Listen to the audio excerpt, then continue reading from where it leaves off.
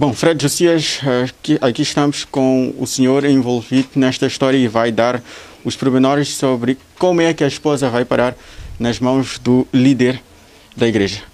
Conte-nos esta história, como é que isto acontece? Acontece quando a minha senhora precisou de trabalhar. Eu disse, vai procurar de emprego. Então, como somos religiosos, ao mesmo tempo temos uma ocupação na igreja.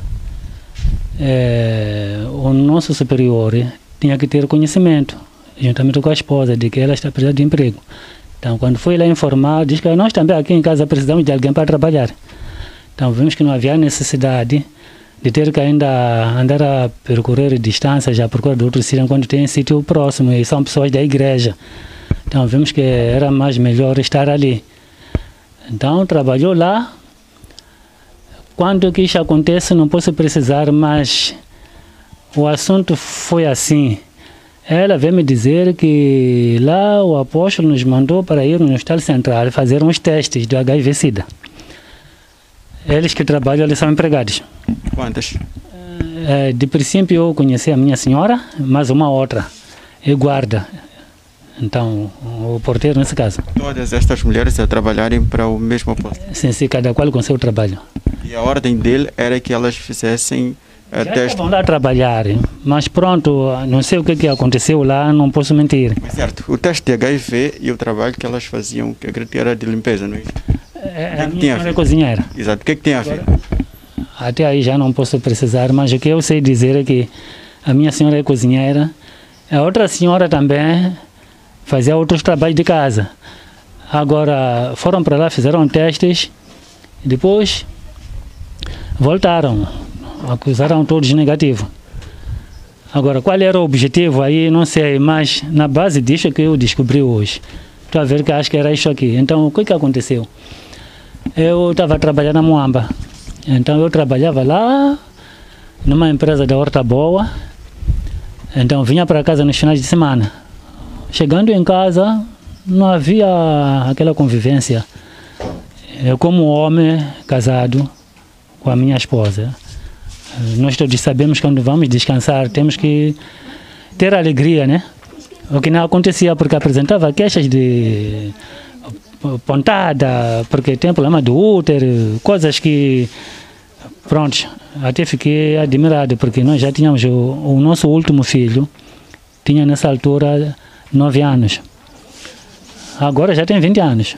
Como é que você se apresenta com esse tipo de problemas? Como é que começou? Porque quando eu vou na Moamba, você não tinha nem essa coisa de apontada, nem problemas de útero.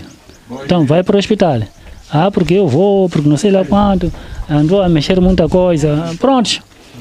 Eu a voltar, vir a voltar, sucedia essa mesma coisa. Então pronto. Eu fui, voltei, fui, voltei, mas o relacionamento sempre era aquele, eu a perguntar a ela, afinal o que que se passa? Andava a contar muita coisa, muita coisa, muitas histórias nesse caso. Então pronto. Fiquei. Só que dentro disso aí, a minha senhora parou de trabalhar lá. Houve este, de que parece que ela namora com o pai, não sei lá o que, que, que, que. Então me chamaram, eu fui para lá. Quando cheguei lá, a tua senhora vai ter que parar de trabalhar, porque nós queremos mudar daqui da residência, porque quando chove fica cheio de água, não sei lá. Então, quando acabarmos as obras, ela de voltar. Eu entendi. Então, a esposa do pastor disse assim: mesmo aquilo que você está a ouvir não é verdade. Eu não procurei saber o que é, mas como eu já sabia o, o que se passava, então entendi. Então, eu uma vez já para aquela zona da Moamba, aliás, eu estava no serviço, nesse já havia deixado de trabalhar, estava a fazer chapa, de Baixa Moamba. Pelo caminho, depois de Tchumene, uma senhora me liga, sou família Stoy, sua mãe Stoy, então eu estava pensando uma outra história que eu conheço na igreja, embora ela seja da igreja, mas essa já como professor. Resumindo, como é que descobre que, que, que isto aconteceu? Olha, eu descobri isso aqui. É, o pai da minha senhora ficou doente em novembro do ano passado. Então, quando ficou doente, em janeiro começou a piorar. Então, eu voltei do serviço. Eu disse que eu venho aí para visitar, para visitar papá. Diz que estou pedindo trazer rede mosquiteira que está no quarto das crianças. procurei aquela rede ali, não apanhei, eu disse a ela, não estou apanhando, disse que veja, não sei lá onde, onde. Então, quando eu faço isso, fui abrir no guarda-fato, acho que eu tinha parado mal naquela porta do guarda-fato. Então, eu tinha que recuar um pouco, então toquei na bolsa que estava aqui assim. Quando toco na, de cabeça, aquela bolsa caiu, afinal não estava fechado. Então, caiu uma garrafinha. Eu apanhei, quando fiz assim, pensei que fosse perfume. Deixei ali, mas depois veio-me na cabeça que não, essas coisas ela deixa ali na cabeceira. Como que isto aqui vai aparecer? Então levei aquilo e saí fora, porque lá por dentro está um bocadinho escuro. Quando eu faço assim, vejo que não, isto aqui são drogas. Tinha um produto por dentro lá embaixo, no fundo da garrafa. Eu agitei, vi que aquilo ali são drogas. Eu comecei a ver que não, isto é que me traz problemas, isto. O que que acontecia a mim? Eu às vezes ficava inchado aqui, às vezes aqui, mas tudo rápido, sem saber o que, que se passava. Então, ao ir no hospital, que é para nós não sabemos, é porque você não pode comer caldo, ou porque não sei lá que é. Mas afinal de contas não era isso aí. Pronto, mas eu fiquei nessa. Então, levei aquela grafinha, escondi. Levei rede mosquiteira, fui para lá, em casa dos pais, em Bagamoyo embora infelizmente o pai veio a perder a vida. Só que depois de tudo, o oitavo dia passou, voltou para casa. Quase para o segundo mês, é quando ela me pergunta, não viste uma garrafinha aqui? Que tipo de garrafinha? Ah, é uma garrafinha que tem medicamento. Medicamento de quê? Diz que não, esse medicamento é para a pontada. Mas por que você quando traz coisas não me apresenta? Ah, porque eu esqueci, não sei lá, mesmo uma criança, quando vai para o hospital, qualquer que seja, quando traz... Quem, quem deu este medicamento e era para quê?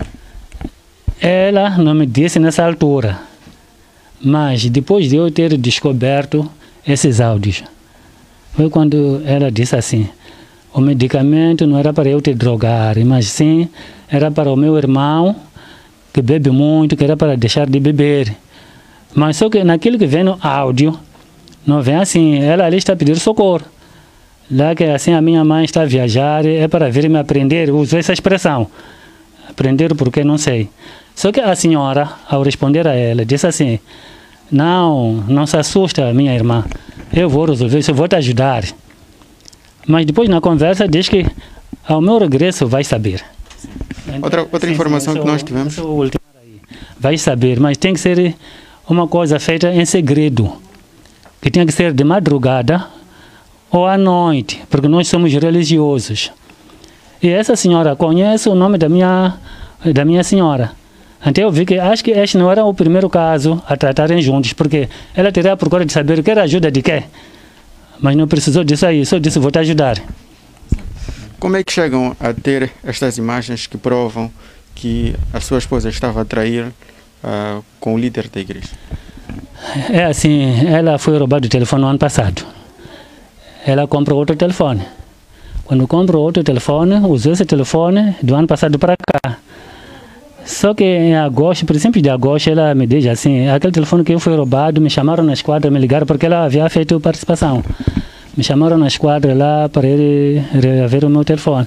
Fui para lá, voltou sem nada, disse que porque o homem que nós tinha que voltar no dia seguinte. Voltou para lá, então veio, me apresentou o telefone, estava ali, a cara, o telefone está ali. Então eu disse, olha, eu tenho problemas de telefone, é bom me dar um telefone, porque você já ficar vai ficar com três telefones. Então ela escolheu o telefone que vinha usando no ano passado. Levei aquele telefone. Apagou que apagou, depois me passou o telefone, ficou uma semana. Então aquela coisa de cá, querer ver o que, é que vem por cada sítio. Foi quando descobriu que tem áudios onde já ouvi esta senhora declarar isso, inclusive apanhei este pastor, que afinal de contas eu passo mal aqui em casa os 10 anos todos, por causa desta pessoa, porque ela nem dormia comigo. Está vendo? Não dormia, alegava sempre problema de doença, mas aqui nos áudios que vem aqui, quando tem programa com o tal pastor, nunca aparece nenhuma coisa a dizer que não vou conseguir porque estou doente. Mas já acontecia a mim. Passava mais tempo com o pastor e... O pastor de que eu? Pastor? O nome? É o Jaime César Matombe, é o apóstolo da Igreja Velha Apóstolo.